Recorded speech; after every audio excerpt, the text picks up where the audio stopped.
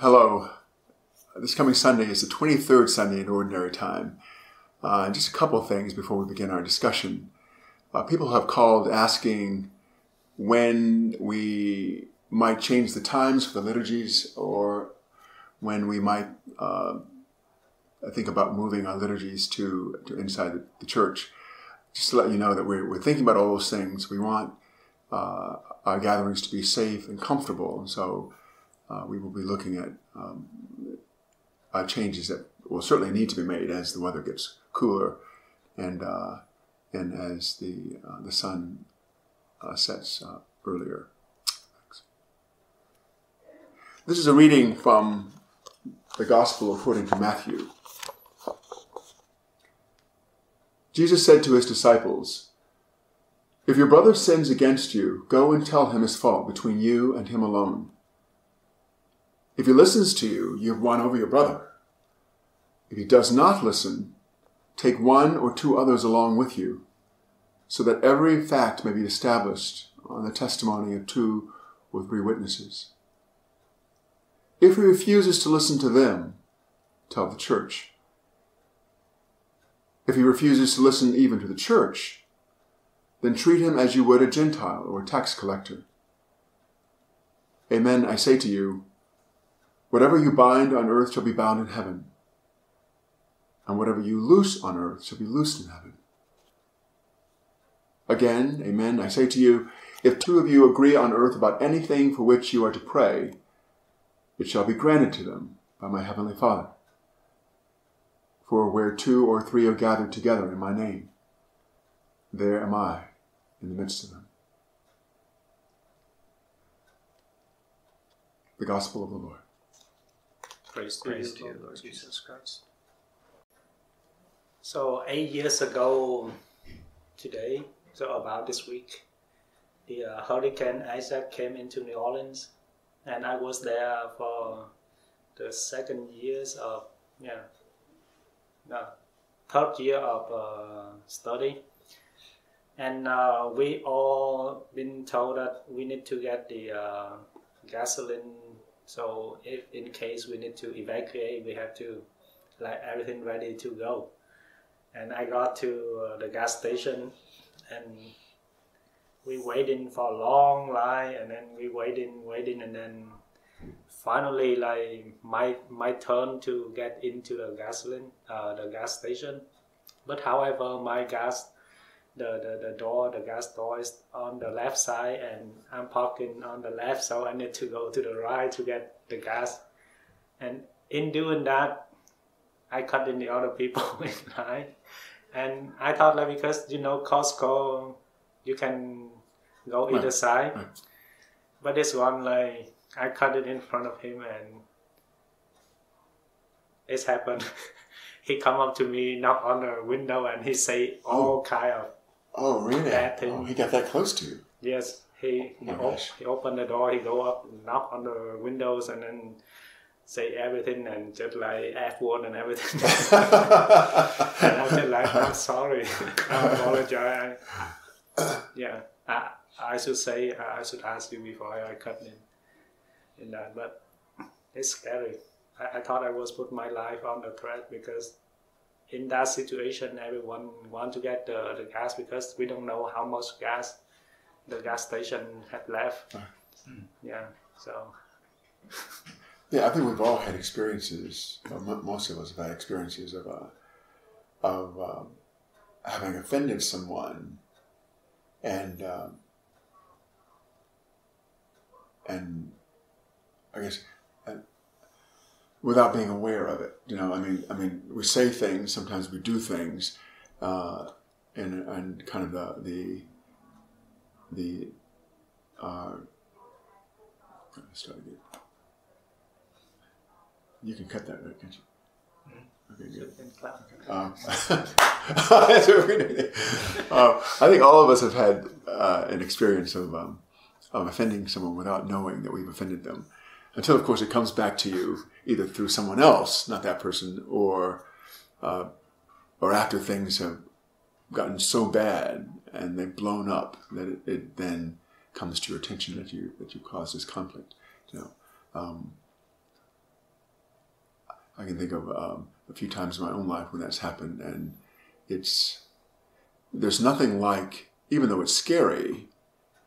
There's nothing like either going to the person who has uh, um, injured you or having that person come to you. I mean, however it happens, there's nothing like that to uh, to bring about a sense of resolution. And uh, initially, at least in my own life, it is tense. Mm. You know, because I mean, if I I, I, I, can, I can remember times when someone has come to me and said, you know, and they've insisted that I've offended them about something. And my first, um, um, what? My first inclination. Inclination. Yeah. Okay. Is uh, is to become defensive. You know. Um, and also, like the uh, the first inclination is like being defensive and also want to kind of like, no, I'm justified of what I'm doing firstly, and we kind of like blocking that up. Like don't want to listen if like that not authentically from that person that we heard. If it's coming from other people, I'm gonna we're gonna try to justify what we did. but yes. if but if the, the, the person that we heard like come forward and and telling as the gospel said like if your brother sins against you tell him yeah right. and tell them so, right. so and that like authenticity that come from that person like come up to us i think it's easier for us to listen especially one by one and just like bring him into the the assembly first and then just like throw everything at him so why don't we do that you know why why is going to the, the person who has injured us why is it not our first uh, why, why are we not inclined to do that as kind of a first move um, um, why do we hate conflict? Why do we avoid it at all costs? Because you think it's an avoidance of conflict. Right? Uh, absolutely. But but so so when I don't do it though, what happens is I I build up within me this right. animosity and right. Um, and you find and it comes out ways to right. do yeah right. deal with I, it. I talk to Father Fawn about it. I talk right. to you about it. You know, I don't talk to Kathy because she's the one who offended me. But um, so it does come out. Uh, anyway. Yeah, I think, you know, we, we talk as Catholics a lot about confessing our sins, but this is the corollary to this. Uh, you know, Matthew's church, you know, we're reminded that, you know, the gospel writers, especially Matthew, Mark, and Luke, are probably writing for their own local communities before they're writing for everybody. You, think about what this community must be like if this is sort of the rule that Matthew is setting up, um, where relationships are to be cultivated and cared for, where where um, where not only are we confessing our sins to one another, but we're also free enough to confess someone else's sins to them, not in a gossipy way, but but um, where the assumption is I can't know what I did wrong, I can't know how to how to progress uh, without your help. Mm-hmm. Um, the assumption is we will all hurt each other. Um, but in order to create a kind of climate of repair, we have to have that freedom to assume that everybody is going to hurt somebody sometime, uh, but that it requires, you know, sort of this openness. Um, you know, in, in monastic communities, uh, in Benedictine monastic communities, they have this service called a, a culpa service, mm-hmm. once or twice a year, where um, you know, all of the brothers, and they're not, you know, solicited to do this, but they all have time to come before the community and name their faults, their culpas, um, as a way of sort of acknowledging, you know, the general sense that, that gets picked up on any community over a year that I've screwed up a couple times. Um, you know, and, and I have to imagine the relief um, that comes from being able to acknowledge, you know, even the small things. I talk too much, or I'm always the last one to be done with food, you know, and, and everyone has to wait for me. Or, um, but but back to this idea of the community.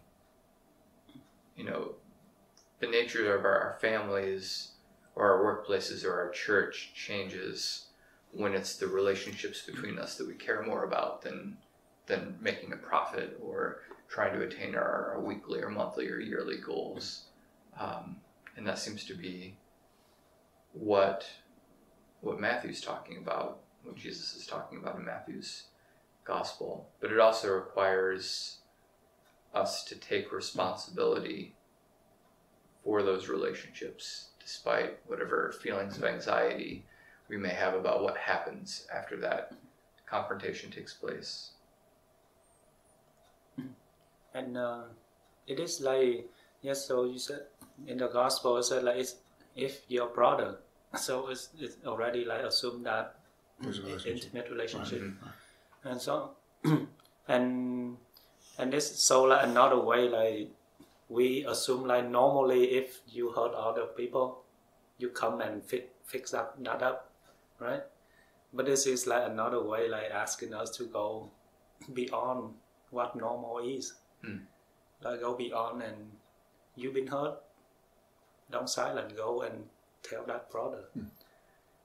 And as you said, like sometimes we don't know what we did wrong, so we need people to help us that we all moving forward as a brother. And you know, and, it's important even when, even if I have no intention of telling anyone- anyone else uh, that you've hurt me, you've hurt me. Even if I, you know, um, you know, I'm not going to blab about it. Uh, I think the gospel insists that, as you were saying, because of the nature of the relationship that we have, uh, it can only be harmed, further harmed, if I don't go to you and express to you um, you know the the injury that you've caused me by either what you've said or what you've done.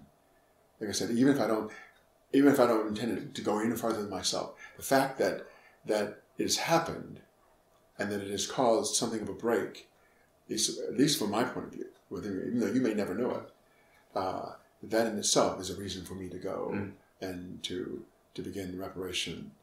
Um, because, as you said, relationships are important. You know? Right. Uh, in fact, they're they're some of the most important things in, in life. Right. You know, the bonds that we have with brother, with community, with. Um, um, I, I think my experience is that people, myself included, uh, I'm always afraid of the other person's response. I'm afraid um, if I go to them and uh, and explain to them the injury that they've caused me, uh, that they will blow up or something horrible will happen. And the last thing I want to do is, is, is to deal with that, you know. Um, and so it's it's easier for me sometimes just either to keep it to myself completely and to let it eventually, you know, become so fermented within that something's got to happen.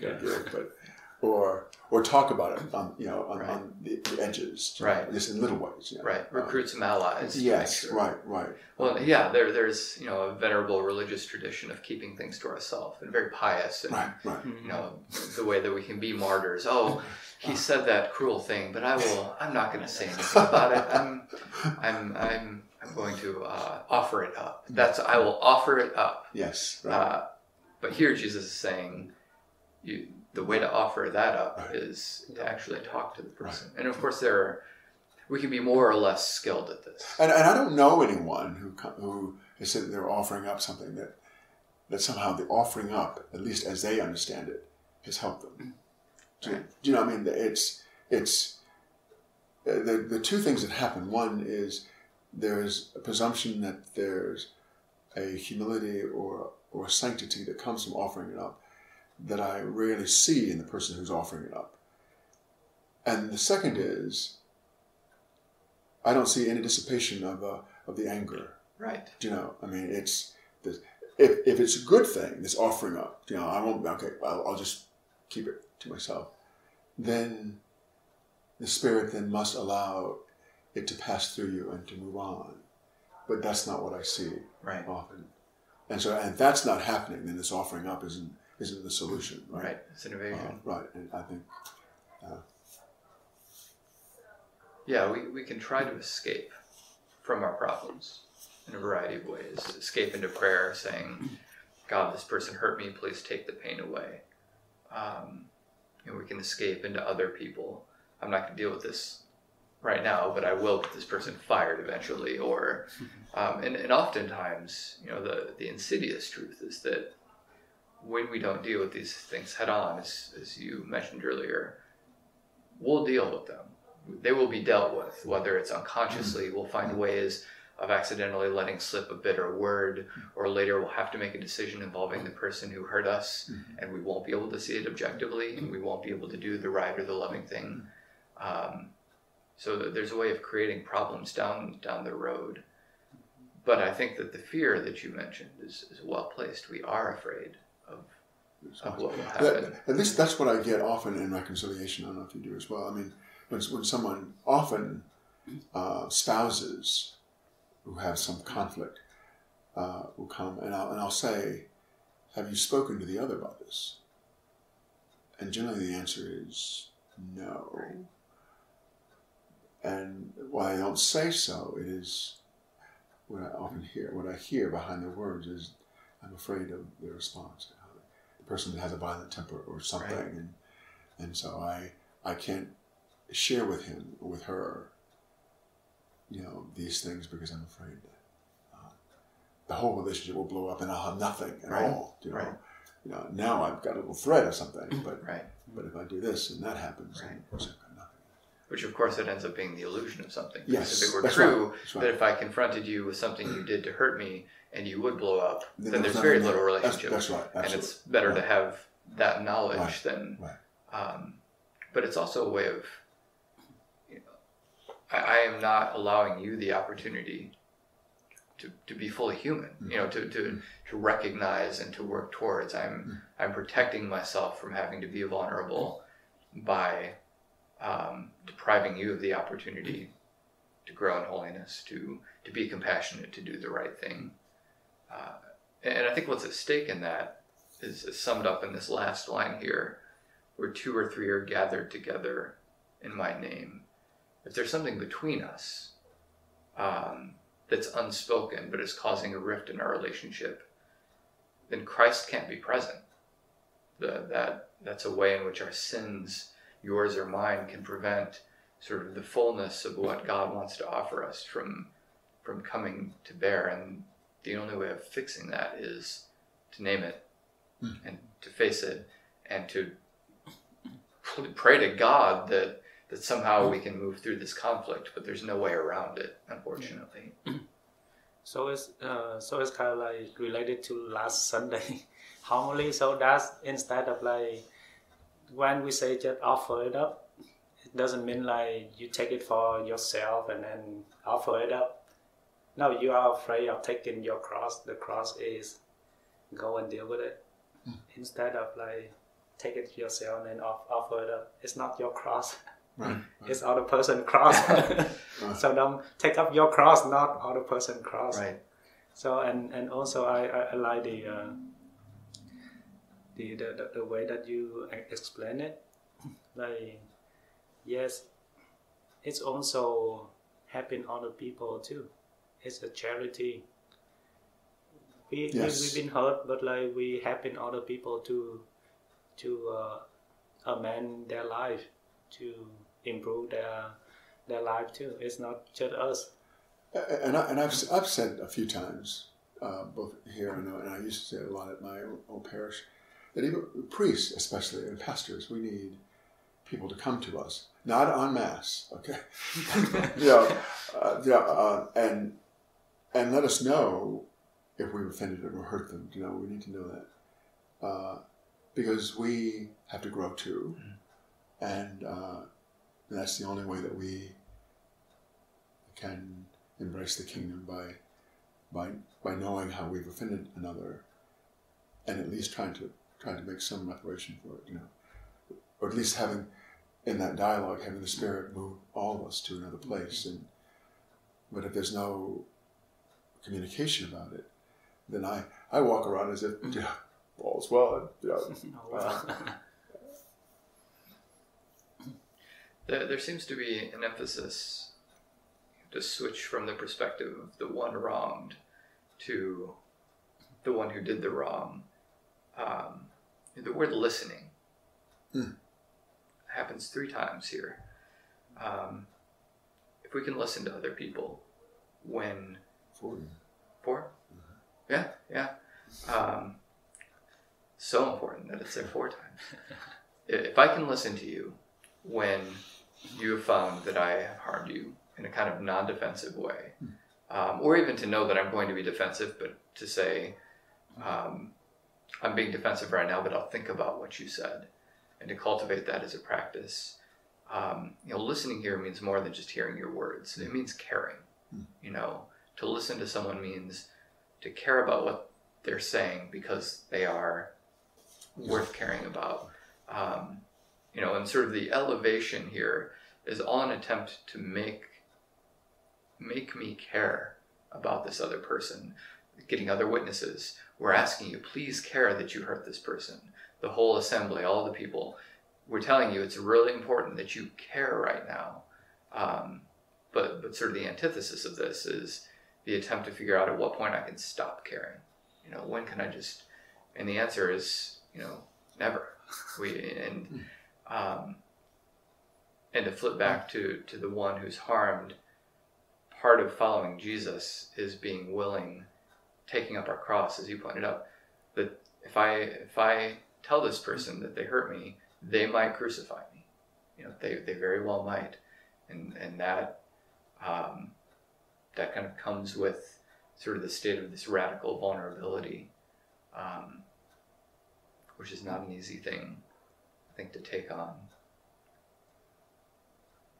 the, the caring, which you mentioned, um, and and and the listening. I, I you know, what, what does it look like? And I, I think it's um, uh, when I listen to someone, as opposed to just hearing what they say, say then it requires a kind of vulnerability. Mhm. That is, I've, I've got to, I must allow uh, what they're saying, the essence at least of what they're saying, uh, to permeate me, to, to enter into me. Uh, I, I can't put up a, a barrier to it. Um, so that means um, you know, having you know, whatever it takes um, to to allow the the words that they speak to, you know to take root within me, uh, and that's a hard thing sometimes. You know, Uh, you know, one of the things that makes marriage uh, a school of the Lord's service, quote Saint Benedict, and why I encourage you all to try Ah, marriage alright, at some point if you can. It really can be a great opportunity to learn how to listen.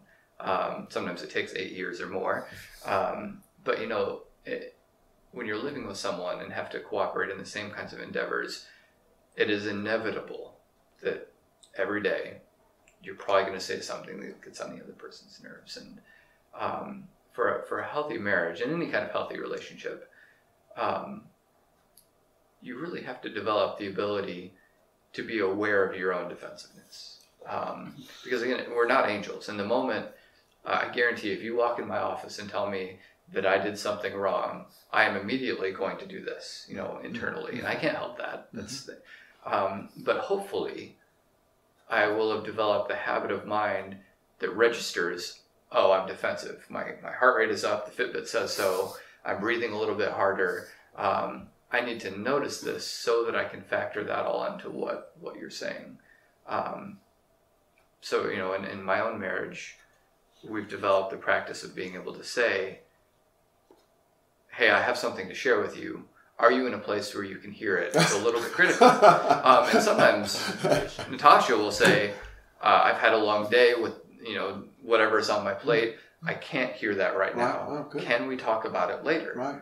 And in the past, I've said, "No, we're doing it now," and I, I don't listen. You know, and of course, then then a fight ensues. Um, but when I can hear her and say, "Yeah, let's let's talk about that later," and she knows eventually we're going to have to have this conversation, then we can create the kind of space we need to have have that conversation. Um, that kind of soft startup can really help, even anytime we have a critical point to bring. Just saying, hey, I have something, I don't know how to talk about it with you, um, but I'd like to. Let me know when when you feel like you can, um, as opposed to just sort of barging in and thinking that all we have to do is name the thing, and then the other person Right, will right. will even physically be able to hear it. Right. Uh, there's a lot that goes into being able to do this well. You're right. Uh, the, the the marriage community uh, is a place where you have probably one of the greatest opportunities to become human, truly human. Uh, we, Father Fod, um, there's something about that relationship that, of course, we will never have, and and therefore, I think we, uh, unless we're in a community that is willing to to do that kind of work, you know, either here at Christ the King or uh, you know, wherever our friends or whatever it happens to be, we can never become fully human. You Mm. know, uh, and that's a sad thing. Yeah. Um, because what the gospel speaks about today, this this encounter with the other, this caring about the other, this this caring about the relationship, and the, enough to uh, to share hurts and be and to be vulnerable and all that that, that goes with it.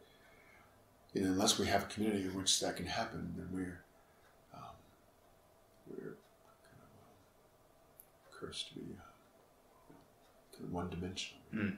Mm. At this point, I sh- I should weep, but I'm, I'm not going. to. That'll come later.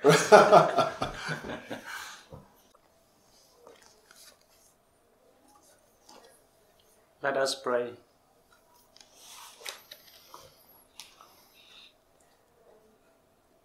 O God, by whom we are redeemed and receive adoption, look graciously upon your beloved sons and daughters, that those who believe in Christ may receive true freedom and an everlasting inheritance through our Lord Jesus Christ, your Son, who lives and reigns with you in the unity of the Holy Spirit, one God forever and ever. Amen. the Lord with you. With your spirit. May God bless you, the Father, the Son, and the Holy Spirit. Amen. Go.